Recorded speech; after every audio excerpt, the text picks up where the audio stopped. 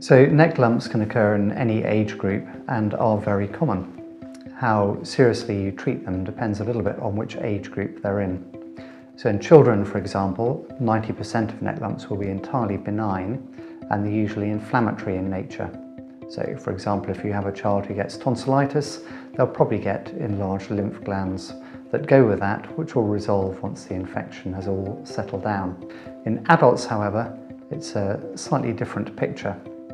So I like to think of neck lumps in two groups in adults. The first are thyroid lumps, which occur in the, usually in the lower part of the neck in the central area, and lateral neck lumps, so neck lumps a bit more off to the side. If you look at the lateral neck lumps, um, which are over two centimetres in size and occur in adults who are over 35 years of age, then about 80% of them will be a tumour not necessarily a cancerous tumour, they can be benign tumours, but about 80% of those tumours will be cancerous, so they have to be taken a lot more seriously.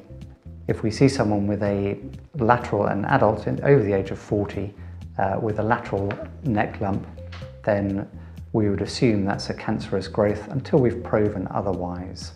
Thyroid lumps are a little bit different um, in that thyroid lumps are very common. If you do an ultrasound of the general population, then you'll find that about 50% of adults have a thyroid lump, so the proportion of those which are cancerous is very much lower.